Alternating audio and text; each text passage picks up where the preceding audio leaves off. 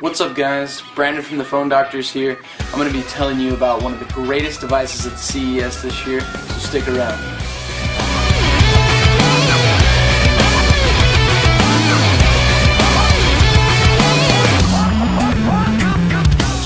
Okay guys, I want to tell you about the Samsung Galaxy Note that's coming out. It is actually available in Europe right now. AT&T is going to pick it up this quarter probably. Uh, the first thing that pops in your mind when you look at the Galaxy Note is the fact that it has a 5.3 AMOLED screen. This thing is super bright, super clear. This thing has an 8 megapixel camera on the rear, so it puts it right in line with the iPhones and all the major Droid players on the market right now. Biggest difference with the camera is the front-facing camera. The front-facing camera actually mimics to the resolution of a rear-facing camera of most of the phones out right now. The biggest thing about the phone though is the screen. The screen is monstrous, but it's not to the point to where it's uncomfortable to hold. When it comes to form factor of the phone, it's very, very super thin when you would think of a phone being this large, as opposed to a phone like the Dell Streak or something like that. So it's very thin. It's very ergonomic when you're holding it in your hand for sure. You know, it's really hard to put the Galaxy Note in a specific category because it's it's kind of somewhere in the middle between a phone and a tablet. Tablets are very bulky when you try to handle them, and, and God forbid you ever have to make a phone call with something like that. But you know, it's not quite the size of a regular phone. It's a 5.3 3 inch screen, so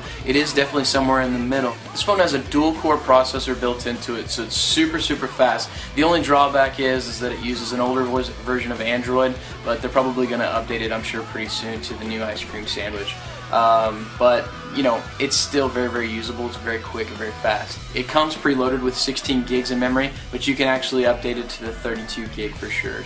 The note function is one of the best I've ever seen on any device. I picked up and I was a little skeptical of the note to begin with, but when I actually started writing on it, you could really tell that they've spent a lot of effort in making sure that the pen functions with the, the phone very, very easily. Uh, there's no glitchiness, it's very fast, it's very crisp, very clean. There's actually pressure sensitivity to it. So there was actually people doing caricatures at the uh, booth this year. So you could sit down and somebody would actually draw a caricature out for you and they print it out and stick it on the, on the booth. The phone actually has a 2500 milliamp battery in it, so it's actually pretty stable for battery life. Um, you know, it's not as big as the Droid Razr Maxx. The Droid Razr Maxx has a 3300 milliamp battery, so you you know I heard you could actually uh, drive from LA to Vegas and back, you know, with watching a full full length movie, and the battery would never go out. So I don't think it's to that point yet, um, but it definitely is big for the for the screen size. So I think it'll keep up with uh, the screen resolution, how bright it is, and everything like that. But guys, that's pretty much all for the Galaxy Note. It's an awesome device. Uh, it's definitely made me want to reconsider my iPhone. I'm kind of an Apple guy, but uh, I'm definitely reconsidering it for the Galaxy Note once AT&T gets it. Like I said, be on the lookout for it. It's already available in Europe, so I did see some people carrying it around in the Samsung booth who actually owned it from Europe, but it's not quite released here in AT&T, so it's coming out very soon. Keep tuned to the Phone Doctors at the CES show. We're going to be here all the rest of the week. Um, we're going to check out a few more booths and give you some more devices. We've got some really cool things on the way. Remember to check out Phone Doctors on Twitter and check us out on Facebook at Phone Doctors USA. And of course, we've got our YouTube channel going all the time where you can get your repair guides and everything like that. So uh, keep it with us. We'll keep you informed. And thanks, guys. Have a good one.